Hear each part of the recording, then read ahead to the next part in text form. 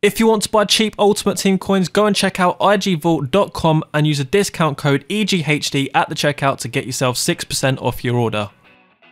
Yes guys, welcome back to another video. Today I'm going to show you how you can get your own R9 Ronaldo on FIFA 21. So as you can see, we have a Prime Icon Moments Ronaldo. This card is obviously the best card in the game. There is no better card, literally no better card in this game.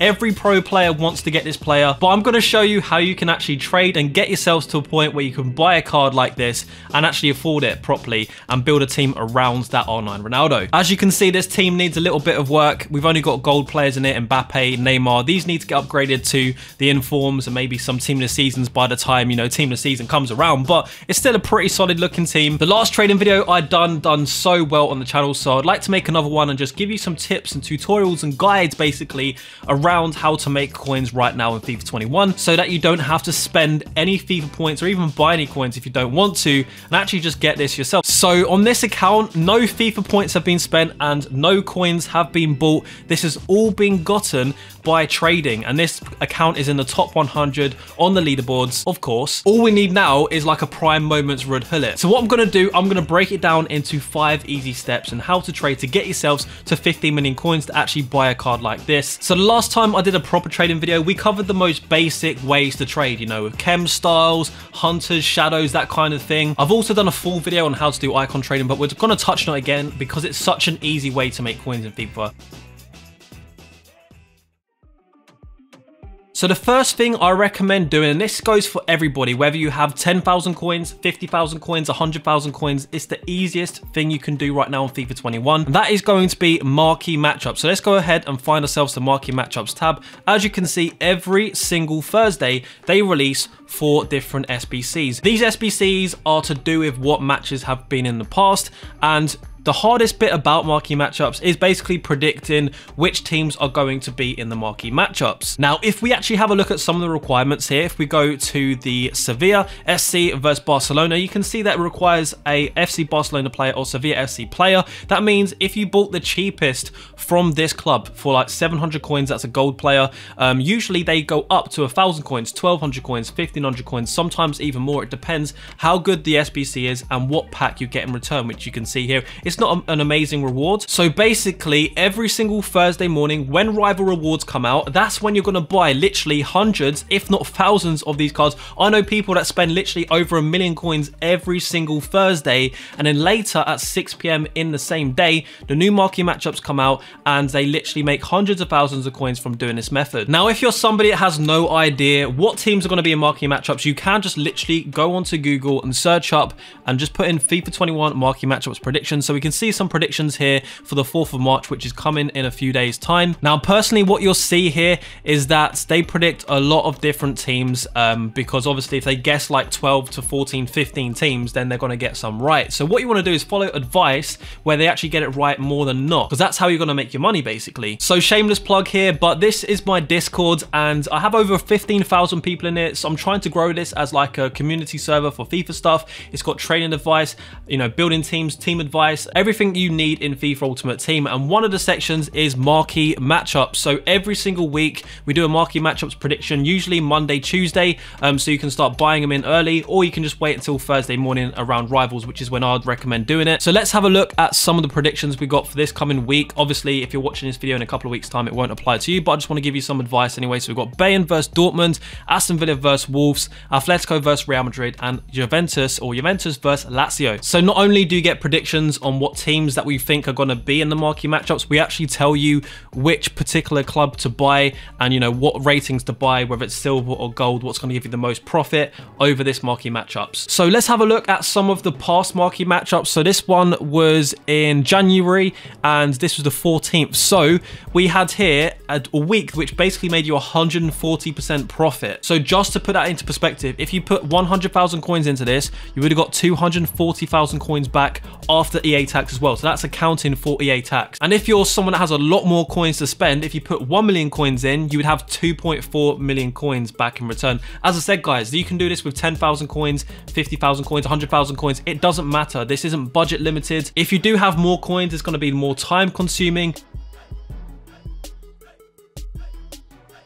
Now method number two, I'm doing this from like the easiest way, starting off with marquee matchups and building up a little bit more. So this one's going to be team of the week investments. So for those of you that don't know, team of the week comes around every single Wednesday. Now I'm going to use this website called FUTBIN and we can actually check out the previous week's team of the week. So here it is. Here is the current team of the week. Now, obviously, when you get your red picks from FUT Champions, the players that you really want is Ronaldo, you want Rashford, and well, that's pretty much it from this team of the week. Maybe a Handanovic, he'd be pretty good fodder, maybe might fit into some of your teams, but the other players are really good for SBC fodder. Now, what happens with this every single week when they get released at Wednesday is obviously they're going to start off quite expensive. After somewhere between one and three days of being out, being released, you're going to find 84 rated cards go down to 18, 20,000 coins. And as a few more days uh, go by and also the new team of the week comes out, that means that the old team of the week doesn't get any more supply. So what happens is that cards will go up over time. So this is more of an investment rather than a flip. So if you buy this card,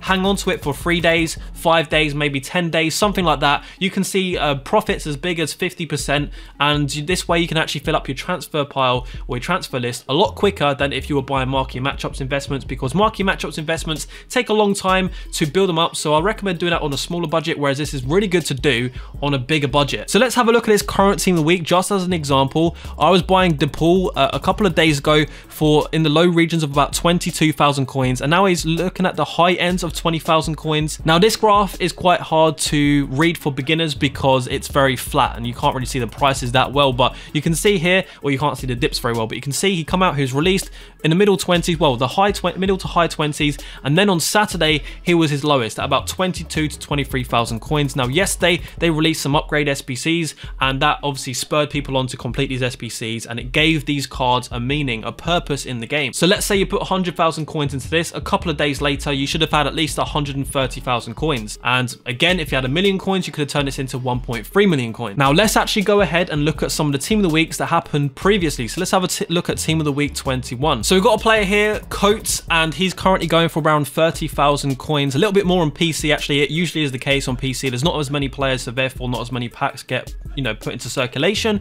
Um, but if we have a look at his graph, you could have bought this player at the low end of 20s on Thursday. Uh, if you waited for Saturday, you could have bought him at about 25,000 coins. And then obviously now a week has passed since that time period, and the, the upgrade SBCs were out yesterday. You can see that he's actually going for around 30,000 coins. So again, the longer you wait with these investments, usually the more they go up in value. Now, the hardest thing about this method, and this is why it's number two and not number one, is you've got to pick the right player. You've got to pick the right rating, a good nationality, a good league. It's not that hard, but obviously you want to put your coins into the one that makes the most amount of money and not one that just stays flat and barely makes any coins. So that's again what we do in the Discord. So another shameless plug again, but you guys can use this right now to make some coins. If we scroll up and actually have a look at some of the investments, I actually posted some investments here that have already gone up in value. So if, if you have a look at these cards and buy them for this price, you're not going to make, well, you're not going to find them for this price because they've already gone up. But we can have a look at some past data when a team of the week is released. You can see here these 82 rated and 81 rated, they were going for about uh, 12,000 coins on the market, but you can snipe them at about 11,000 or even sometimes 10,000 coins. And after a week or so, they'll go up to 13, 14, 15,000 coins. Let's keep scrolling back to the previous week. So this was the previous week that I just showed you on Team of the Week 21. We got uh, Gomis there. I believe he's in the low 20s, so he's already gone up 5,000 coins. All of these cards, usually what happens is 82 rated or 81 rated and below, they will go for around 10 to 11,000 coins that you can pick them up at at the cheapest point, and then later on they'll go up in value. Here's some more as well. So we've got uh. Now, I actually particularly remember seeing this player. Um, he was obviously going for around, you probably snipe him for about 11,000, uh, not 11, 16,000 coins. And the thing is, a matter of one week later, and he was selling for about 30,000 coins. So you can almost double your coins on these investments because when they have their pack supply, it only lasts for a week. And when it's done, it's done. Um, every time they submit them into an SBC, that card never comes back onto the game. So the supply is constantly going and the demand is constantly going up. The next method is going to be 83 to 85 rated fodder. I particularly like the 83 and 84 rated. It's good for new traders, but it's also very good for experienced traders as well because the profit margins on the lower ratings is much higher, uh, but it does take more time to do it. So if you have 100,000 coins, this is perfect. I'd say anything from 100,000 up to about three to 500,000 coins. This is a great way to spend your coins and your time.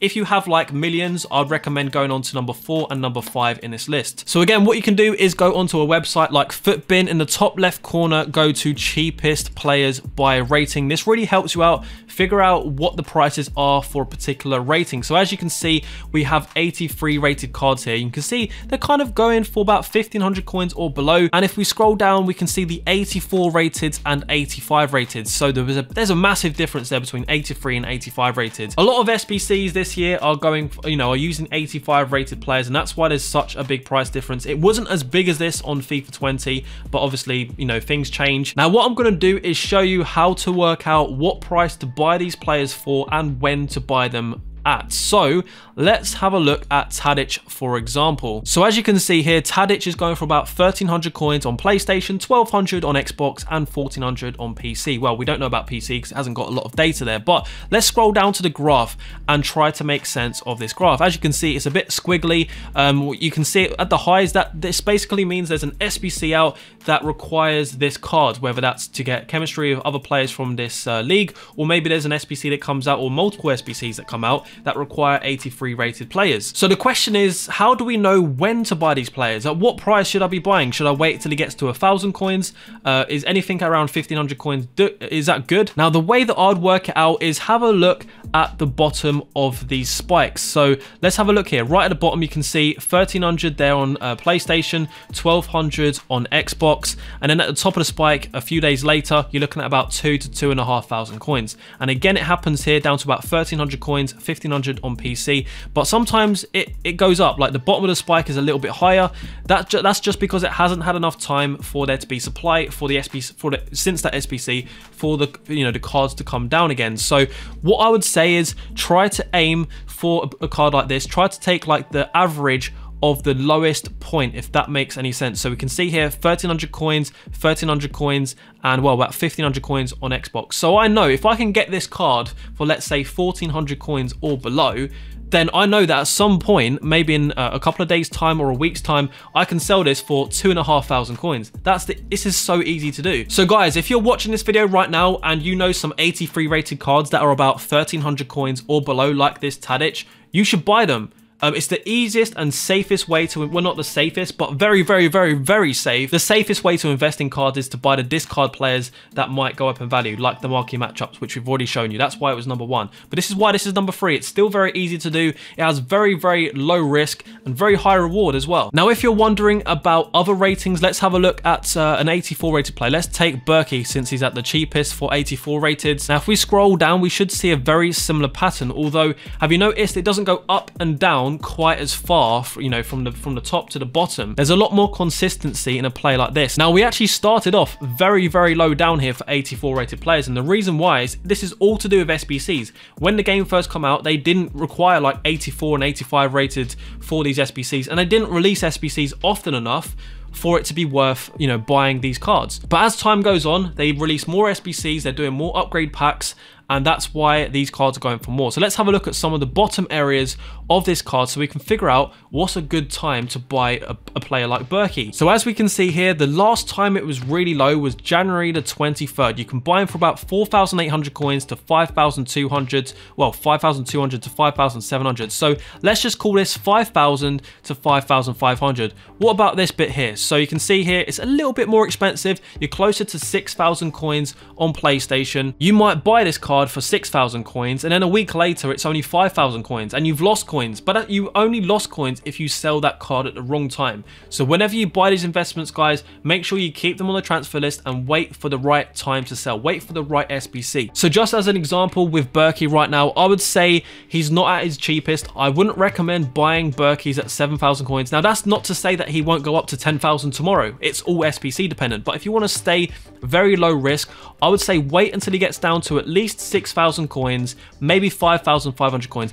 Anywhere that kind of uh, price is perfect to buy 84 rated cards, especially a player like Berkey, just using Berkey as the live example. So there you go. That's how you buy fodder. 83 rated, 84 and 85 is perfect for this you're going to get more opportunities. You're going to get more opportunities to buy the 83 rated cards because there's much more supply. Because they're lower rated, there's more 83 83 rated cards in packs. Therefore, when it spikes up to two or 3,000 coins, it only takes a matter of one or two days for the price to go back to rock bottom again. Whereas with these 84 and 85 rated um, players, they usually cost more because there's an SBC like an Icon SBC that's out for seven days, two weeks, maybe a month or something like that. So that's why these cards hold a much higher value for a longer period of time and it's harder to get them at a good deal. But when these are at an all-time low, it's very, very like obvious that they're going to go up again. So make sure you keep an eye on the market. As I said, guys, just a reminder, top left corner and go down and click on cheapest players by rating. Keep an eye on this list. 83 rated, anything below 1.5k and for 84 anything around 6000 coins or below is a good time to start investing in these Next one is going to be number four, and it is going to be new promo cards. So now this goes for promos that we haven't seen in FIFA before. So for example, we've got some what if cards here. As you can see, this is the first ever what if promo in FIFA, but this also goes for promos we've seen before. So for example, we've had headliners last year, uh, but headliners this year, basically when new promo cards come out, it's like team of the week. Um, people don't know how to value that card yet. Now this is much more risky because you don't know if you're buying a card for 200,000 coins and he might go down to 100,000 coins or 150 and you might lose coins. So this one you need to understand FIFA and you need to understand the market much better. So let's have a look at the current promo. The way this promo works is it's got a live element to it. Now live cards go up massively. Have a look at Renato Sanches, have a look at Sissoko, have a look at Kessie. These cards started off at two or 300,000 coins. Well, maybe a little bit more for some of them, but they're now well over 1 million coins because they are live cards and they get upgraded over time and people keep buying them and they don't want to sell them. So this what if promo is kind of similar to headliners in the sense that they do get upgraded over time. They get upgraded based on if they're a defender, if they get a clean sheet, or if their club gets a clean sheet, and also if they're a midfielder or attacker, if their club scores six goals in the next five games. So realistically speaking, I'd say the vast majority of these players are going to get upgraded. They're going to get a plus two to their actual overall rating. So there are a few players in here that were obviously going to sell for a lot of coins. So this Mbabu stuck out like a sore thumb. He is a very popular player in this game. Um, I've started to notice, well, we've all started to notice that people are starting to use right backs and left backs in the centre back position.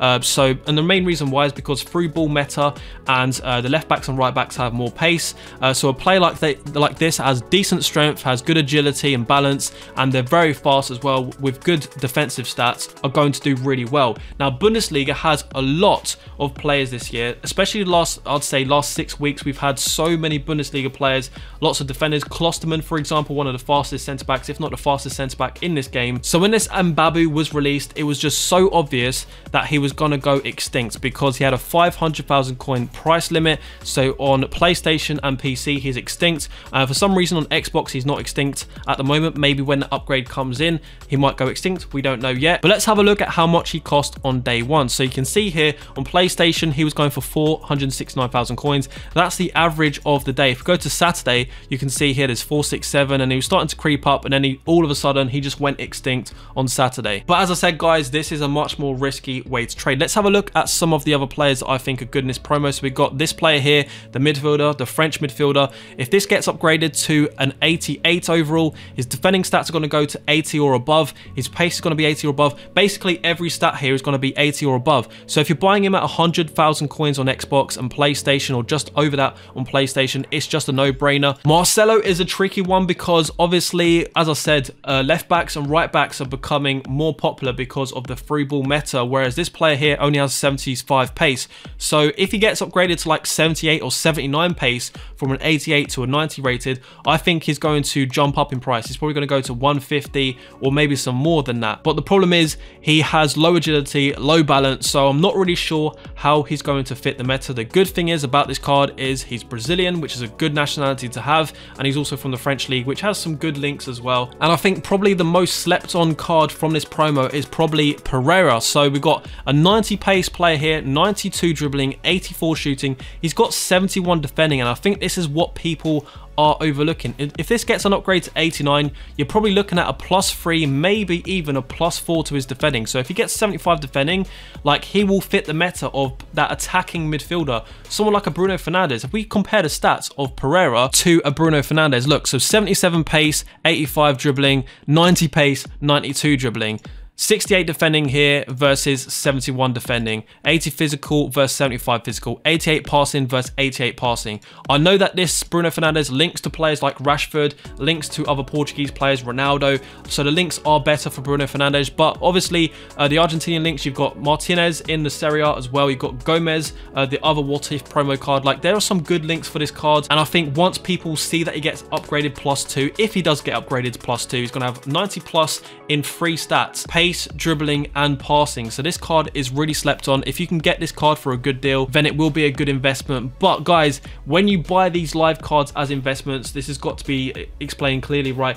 You might buy one for 100,000 coins. It might dip down to 80,000 coins, but don't panic. Don't sell your card instantly. Don't get into your emotions. Just simply go with your idea of waiting for that upgrade and you will see profit if you pick the right cards. So again, in the Discord, we have a section called high risk flips where we show some more of the riskier ones. Uh, well, even for example, this Dele Alli uh, going for about 47,000 coins. Loads of us bought them for 47,000 coins and was selling them at about 55 to 60,000 coins. Loads of posts here on the what if cards. This is where Tyler actually said, look, I reckon this Mbabu is going to go extinct. He was going for about 440,000 coins. So actually a little bit less than what we showed you just originally there. If you bought it at 440, you could have easily sold him. Literally, you could sell that Mbabu like that because it's extinct. Now this card here as well, we already shown you, it was going for over 100,000 coins, probably about 110,000 coins. So you would have made some decent profit if you bought into this, but the, the profit is going to be made when that live card actually finally